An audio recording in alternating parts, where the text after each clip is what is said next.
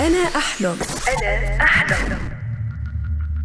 موعدكم مع الأحلام في فقرة أنا أحلم.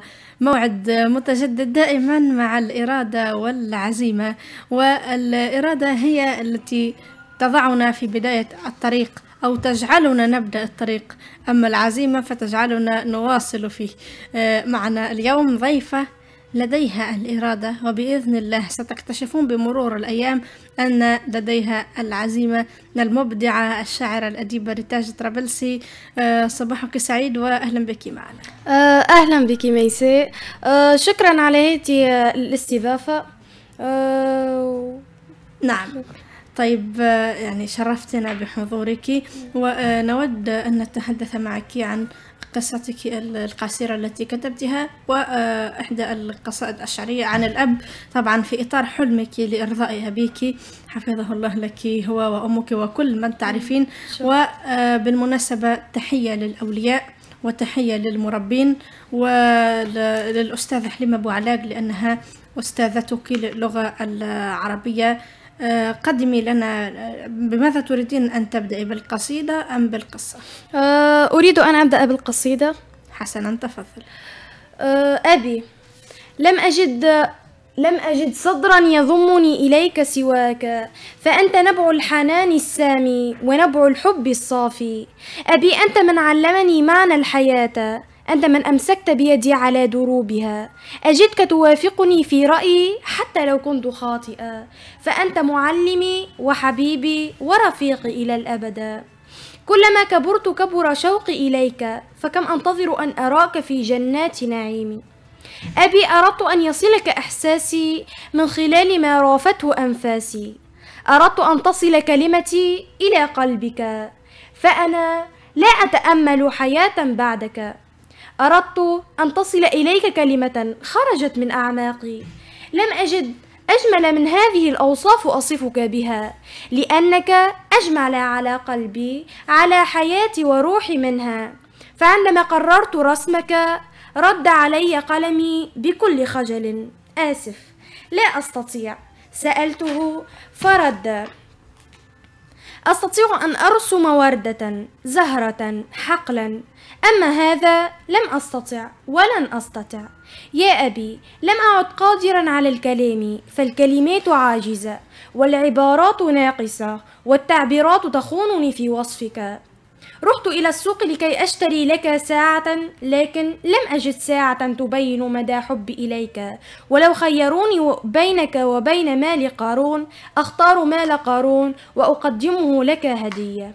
أبي كل, كل الأوصاف التي قرأتها لك ولكن لم أكتفي من الكلام.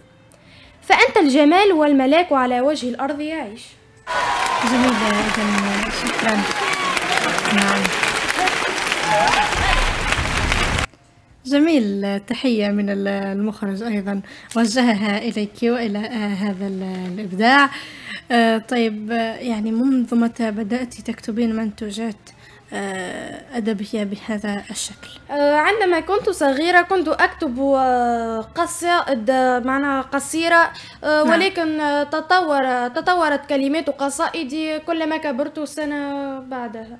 نعم إذا كنت تكتبين قصائد أقصر من هذه والآن أصبحت أصبحت تكتبين قصائد بهذا النوع.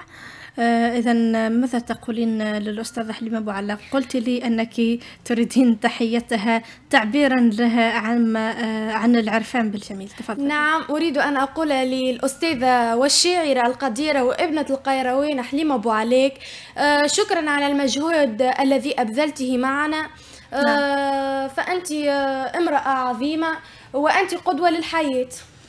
آه نعم تحية للشعراء من القيروان ومن خارج القيروان. نحن دائما آه، نحيي جميع الجهات وحتى الشعراء من كل أنحاء العالم لأن الشعر هو الشعر دائما بإبداعه وتميزه وحساسية الشعراء المرهفة دائما وصدق تعبيرهم.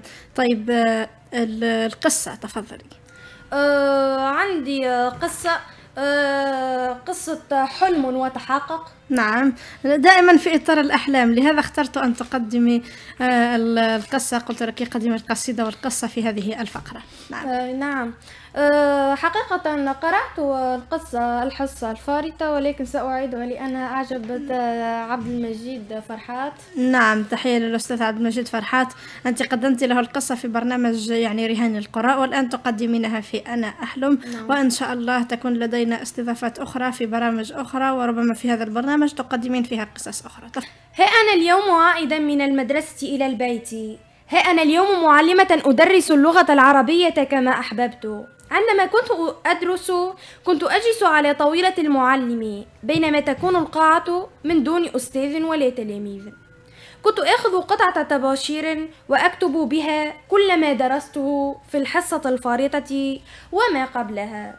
كنت إذا لعب أطفال الحي لعبة مثل الغميضة لا ألعب معهم بل أقترح عليهم أن نلعب لعبة, المع... لعبة المعلم وتلاميذه ومن, ومن المعلم. أنا بطبيعة الحال. ذات يوم وأنا مرهقة من التعليم جلست على الأريكة طلبا لبعض الراحة وإذ بخيالي راح إلى الصندوق الذي كنت قد وضعت كل أهدافي المستقبل كل تمنياتي كل صوري وشهاداتي التي تحصلت عليها من الأساتذة. ذهبت إلى الصندوق الذي كنت كانت كل جانبيه غبارا. فتحته وإذ بشبكة العنكبوت لم أرى شيئا من خلالها. مددت بصورة أخذتها من المدير عند دخولي إلى المدرسة ومشاركتي بمسابقة تحدي القراءة وشهاداتي وميداليات اللغة العربية. كنت أحبها أكثر من نفسي. كنت أكتب قصصا شعرا قصيدة. وما, وما أجمل تلك التي كنت أكتبها؟ ففي كل وقت فراغ أقرأ كتابا أو مجلة أو قصيدة. ولذلك أنصح كل الناس إن كان لديهم هدفا فلا يستسلموا إلا إذا وصلوا إليه فلا يوجد شيء مستحيل إلا في قاموس الضعفاء نعم جميلة هذه القصة و آه، يقول الدكتور شريف عرفة يعني تأمينا عما قلته أن الإنسان إذا ملأ عقله اللاواعي لدينا عقل واعي وعقل لا واعي العقل اللاواعي يتأثر بالمشاعر وبالحياة اليومية. أن من يملأ عقله اللاواعي بتخيل أن حلمه قد تحقق فهو في المستقبل بالتأكيد سيحصل عما تركته هذه التخيلات وهذه العبارات التي يستعملها في حياته اليومية آه، ستساهم في تحقيق حلمه. سيجدها قد أثرت على حياته وعلى عقله الواعي فبالتالي يعمل على آه، تحقيق الأحلام. وتحية لكل مدرس وأنت دائما أظهرت أنك متأثرة بالأستاذة حليمة أبو علاق لأنك أردت أن تكوني مدرسة لغة عربية فأثبتت لنا أنها كانت قدوة لك وأيضا لغة الضاد. هي من من بين اللغات العظيمة بل أعظم لغة ويقول فيها الشاعر إن الذي ملأ اللغات محاسنا جعل الجمال وسره في الضاد تحية آه، لكل من يتابعنا من المعلمين ومن أحباء اللغة العربية آه، منذ متى بدأت كتابة القصص؟ أه بدأت كتابة القصص أه عندما كنت صغيرة أقرأ قصة أو أكتشف شيئا جديدا أكتبه في قصة أو أرى شيئا جديدا أكتبه في قصة ولدي العديد من القصص في البيت نعم. التي أكتبها بنفسي نعم قلت لي قبل التسجيل أن لديك 32 قصة ونعم ودائما تكتبين أو تحاولين الكتابة سواء في الشعر أو في القصة. نعم. ودائما نحث الأولياء والمربين على متابعة القصص وخاصة على تصحيح الأخطاء التي قد ترد فيها حتى لا تتكرر مستقبلا. ما دام التلميذ صغيرا فهو يخطئ وما دام يخطئ فعلينا إصلاح الخطأ حتى لا يتكرر.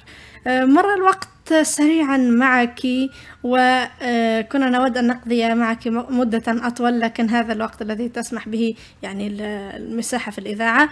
نشكركم جميعا أعزائنا المستمعين على المتابعة. نشكر الأستاذ نوفل الشرطاني والأستاذ ضياء فجرية على إشرافهما من الناحية التقنية. ونشكرك ريتاج على الحضور. ودائما أقول للمستمعين أن النجاح والسعادة دائما توأمان يعني النجاح يجر السعادة عندما تنجح تشعر بالسعادة وعندما تكون سعيدا تبذل مجهودا أكثر للنجاح. فقط النجاح يحتاج إلى محفز ويبقى الحلم أقوى الدوافع. أنا أحلم. أنا أحلم.